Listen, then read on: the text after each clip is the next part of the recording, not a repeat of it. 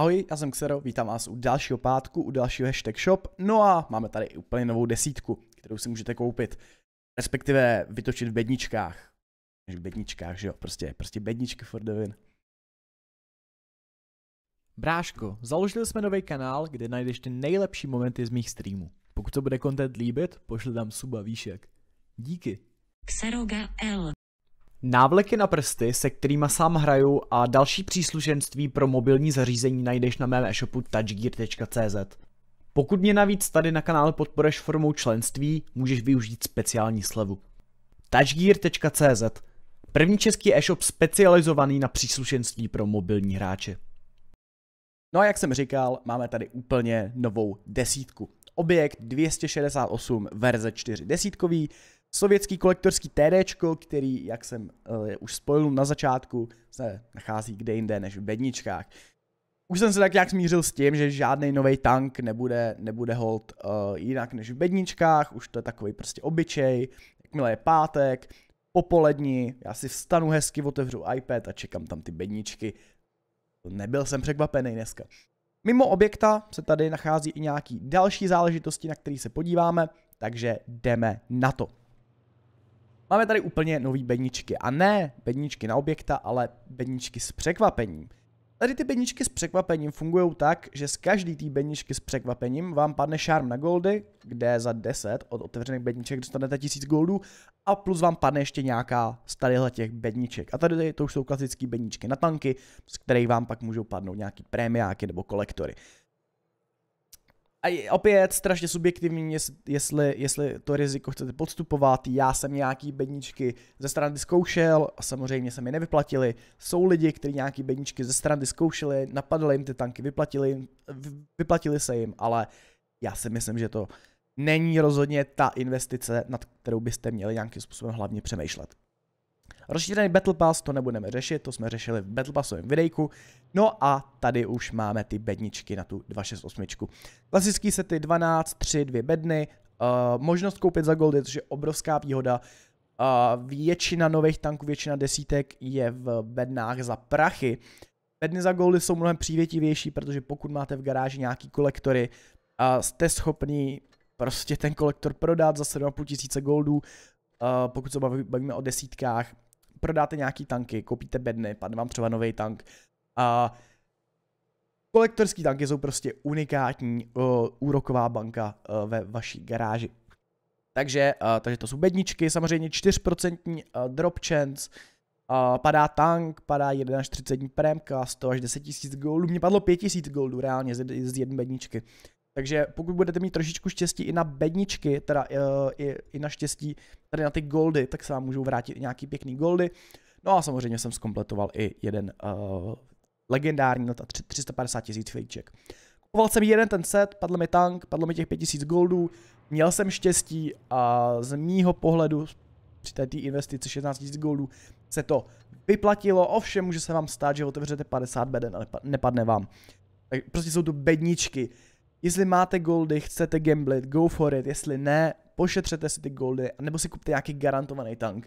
Uh, protože hnedka tady níž máme 95 E6 za 17,5 tisíce goldů. Uh, tank, legendárka, kačenkový avatar a tady nějaký příkaz, který nám po splnění dá 5 záhadných bedniček.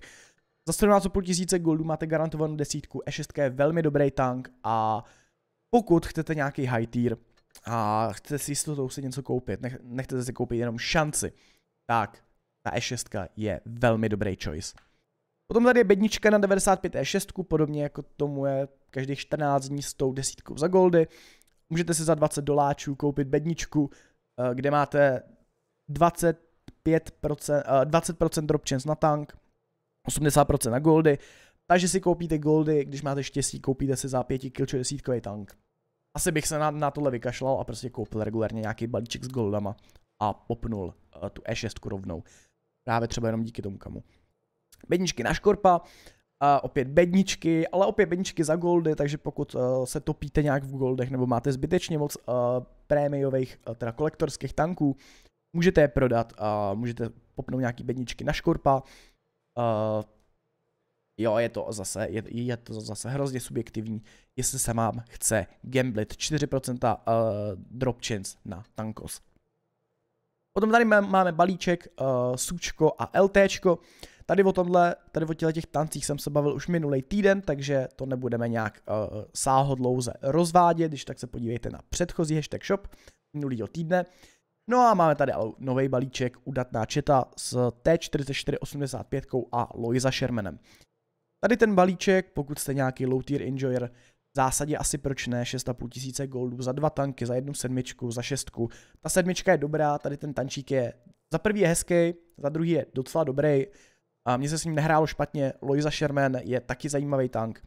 Uh, máte k tady animovaný kamo, uh, k té 44 legendárku, uh, 15 pětinásobků a uh, nový avatar uh, s úlem, který by měl být, co jsem uh, slyšel a viděl, i v budoucnu někdy animovaný, takže čekejte příští týden balíček, kde bude zlatá verze, tady animovaný uh, met divokých včel. Okay. 6,5 tisíce goldů, pokud jste nějaký low tier enjoyer, jak říkám, asi why not. Další nový bundle, nebo nový tank, o nový tank, tank, který uh, se dá koupit v shopu, je CDC za 6,5 tisíce goldů. Nevím, kde si VG vycucalo tady těch 16 tisíc předtím, absolutně nevím, neptejte se mě na to. Každopádně za 6,5 tisíce goldů CDC, osmičkový francouzský středák, který si myslím, že je ale extrémně off meta. Byla doba, kdy byl dobrý, ale obecně hodně lidí ten stroj nemá rádo, protože ten tank je obrovský, ten tank je papírový, máte 30 mm armoru dokola. A já jsem upřímně CDCčko, já jsem upřímně CDCčko neviděl třeba tak rok v bitvě. Úplně bez strany, fakt jsem, fakt si nejsem schopný vybavit CDCčko v bitvě. A, takže to asi svědčí o tom, jak je tenhle ten stroj nehraný. Ačkoliv ten balíček poměr cena výkon se tváří dobře, protože zase tank, legendárka, pětinásobky, beničky, tak ten tank je prostě garbage. On není garbage, ale je o tolik lepších osmičkových prémiáků, který si můžete koupit. Že pokud vysloveně nejste třeba sběratel osmičkových uh, francouzů, tak by ten balíček možná skipnul. Jdeme dál. T14, o tím jsem se bavil minulý týden, takže tu můžeme skipnout. Tady ten balíček, zase uh, nějaký low tiery, uh, tady ty balíčky s těma tier 3 low tierama jsou, já to říkám v, ka- v každém videu, tenhle balíček se vyplatí, pokud koupíte ten balíček, odehrajete si ty pětinásobky a ty tanky prodáte. Tuto kolektory oba prodáte za nějakých plus minus 12 goldů, to znamená, že si koupíte dva tanky, prodáte je, máte z nich cca 2 tisíce goldů, uh, dva volné sloty, 10 pětinásobků na cokoliv, na co chcete, no a nějaká bednička navíc, z který vám může padnout třeba, a já vím, nějaká desítka. Takže v hodně extrémním případě tady ten balíček dokáže být extrémně worth, ale je to, je to, je to asi fakt jako pro fajnšmekry možná. Tady další bundly, uh, baldy s nákupem zdrojů, drahej, středně drahej, levnej, pak je tady ještě jeden, který jsem já sám využíval. Uh, goldy kredity, pokud potřebujete goldy, kupte goldy, tady vám asi nebudu říkat, kupte si goldy, a prostě pokud potřebujete goldy, koupíte si goldy, pokud ne, nekupujte si goldy, asi nějak takhle jednoduchý to je. A potom tady opět zase nějaký možnosti si nakoupit nějaký další zdroje, nějaký boostery, frička, goldy, kredity, stání. To ale není asi úplně nějak lukrativní nabídka. Tady opět v sekci, uh, v, se, v sekci tanky máme ty bundly, o kterých jsme se už bavili a máme tady ty tanky, některý z těch bandů i separátně. Tučko, LTčko, T44, Loisa Sherman, ale jak vždycky říkám, uh, pokud vám nechybí jeden z těch tanků, tak se z pravidla vyplatí koupit ten celý bundle, protože v tom celém bundlu míváte pětinásobky, míváte tam třeba legendárky, pokud nemáte legendárku na jeden z těch tanků, které už máte a asi by kupoval ty double bundle. Ovšem pokud nemáte goldy navíc, tak můžete dokoupit nějaký z těch tanků i uh, samostatně. Zlaťáky, opět nic novýho, ale co je novýho, tak tady uh, v sekci e-sport máme tady slanový nabídky. Za 16 000 koníků. Jinak uh, dost lidí se mě ptá, dost lidí neví, kde tady ty koníky získat. Tady ty koiny se dají získat buď za hraní turnajů, anebo za hraní rankedů. Čím vyšší liga, tím víc jich získáváte. Tudíž pokud, je, pokud jste nějaký jako ranked enjoyer, anebo turnaj enjoyer a máte dost těch coinů, můžete si v podstatě zadarmo, úplně zadarmo, bez investice jakýkoliv koruny, uh, koupit RACčko za 16 000 coinů. RACčko, jedno z nejlepších desítkových medek, uh, ten stroj úplně skvělý. Koukám, že tady už je uh, legendární med divokých včel. 16 000 coinů, tank, legendárka, avatar, trojnásobky, uh, gold boostery, why not. Pak je tady Muffle. Muffle je sedmičkový metko, který má projetovský uh, auto reloader, to znamená nabíjí se vám ten zásobník rána za ránou. Ten tank není vůbec špatný, ale za 10 000 coinů.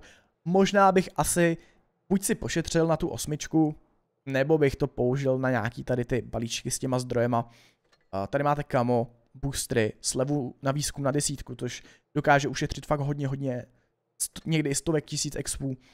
Posílení výzkumu s trojnásobkama, to není nic nového, to tady zůstává, nebo respektive uh, to se nezměnilo. A opět eSports containers, z kterých může padnout tančík, může z nich padnout nějaký pěkný starý ranket kamo. Což se mi nelíbí, protože tady ty kama prostě já na svém hlavním účtu mám tady to, to je úplně první ranked diakamo, který bylo. Mám ho na ně několika strojích, bylo vzácný, teďka je v bednách, jako jo, moc často nepadá z těch beden, ale už tak, když potkáte někoho v bitvě s tady tím kamem, tak si pravděpodobně neřeknete, a to je OG ranked hráč, ale řeknete si, hm, tak ten měl prostě koníky a, a padlo mu to z bedníček. To stejný platí o tady tom kamu, to stejný platí o tady tom turnajovém kamu, který se fakt vydá hodně, hodně, hodně málo kdy. A sám jsem ho jako nikdy neměl na ničem. Takže tak, uh, můžete zkusit bedničky, opět bedničky, může vám padnout tank, může vám padnout nějaký pěkný kamo. A vždycky otevřeme, jako při každém hashtag shop. No a uh, tady v poslední záložce už máme jenom uh, víc a víc a víc bedniček na objekta, víc a víc bedniček s překvapením a víc a víc bedniček na škorpa. Na objekta. Na objekta, na, s překvapením a na škorpa. Je to jen a pouze na vás. Uh, tady ten stroj, ten objekt 268 verze 4 by ale podle všeho měl být ne úplně dobře vybalancnutý. Uh, tady to videjko vyjde v pátek někdy kolem 14 hodin a tím pádem, uh, pokud jste to video dokoukali, tak zkontrolujte, jestli už touhletou dobou neběží stream s tímhletím strojem, protože tady ten stroj určitě budeme teďka na streamech hrát, budeme ho stovkovat a jsem na ně hodně zvědavý, protože tenhle ten stroj je totální nesmysl. Když mi tady dáte vteřinku, já vám tady ukážu uh, Blitzhangar a jenom si řekneme ještě pár slov k tady tomu tanku. Uh, vyfiltrujeme si ho a zjistíme, nebo pár slov k němu, 690 alfa na APčku, obrovitánská alfa, máte alfu větší než, větší než klasický uh, ty mají větši, většinou 640, to znamená máte obrovitánský, obrovitánský damage, jste docela docela nechutně pohyblivý, máte 38 maximálku, couváte 20, to znamená, že vy když najedete do nějakých sraček, nemáte problém odsouvat pryč. No a jedna z úplně nejhlavnějších věcí, který tady ten stroj má, tak je prostě a jednoduše armor, protože armor tady toho tanku je totální nesmysl. Vana 330-340 mm upper plate, neprobitelný. Vedle mantletu potřebujete nějak, nějakou desítku s kalibrovkama, anebo desítkový TDčko. Tady ty plátky vedle, vedle té superstruktury, nebo ty, ty boky té superstruktury taky takřka neprobitelný, jsou tady obrovský úhly. Jedin, jediný, kde se dají probít, je, když třeba budete zajíždět a znegujete úhel tady toho plátu. To znamená s tímhle strojem, podobně jako třeba s VKKčkem, chcete stát kolmo, chcete stát rovně prostě. Chcete stát rovně a nechcete nepříteli ukázat tady ty boky. Káčko má weak spot tady, ale ten princip je stejný. Uh, Jste ovšem schopný uh, bouncovat i bokama, protože tady máte Space Armor, vidíte, že máte velmi široký pásy, vidíte, že ta korba, že ta korba končí někde v polovině těch pásů, to znamená, že se bude stávat, že budete dávat za nula, když budete mířit do boku, protože vám ta rána sletí prostě sem a tam není tank, takže tam to nebude dávat damage. A weak spot, weak spot je samozřejmě trefitelný, ale jenom tady ta spodní část, tady ta vrchní část je pouze Space Armor. Uh, ten stroj má 5 stupňů deprese, což není úplně moc, ale pokud využijete těch 5 stupňů deprese, nebo třeba ještě zvednete dělo do toho weak spotu, tak byste neměli mít vůbec žádný problém ho zakrýt. Odměr do boku, docela pěkný a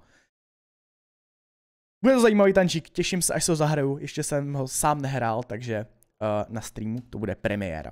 Takže tohle to by byl teda další hashtag shop. Napište mi dolů do komentářů, co si myslíte o tady tom týdnu shopu, co vás nejvíc zaujalo, co jste třeba koupili, co si myslíte o tady tom objektu, na kolikátou vám padl bedničku tady ten objekt, jestli vám padl, jestli jste zkoušeli. No a my se vidíme u nějakého dalšího videa, anebo streamu právě s tady tím streamem. Díky moc, mějte se moc pěkně a zatím ahoj.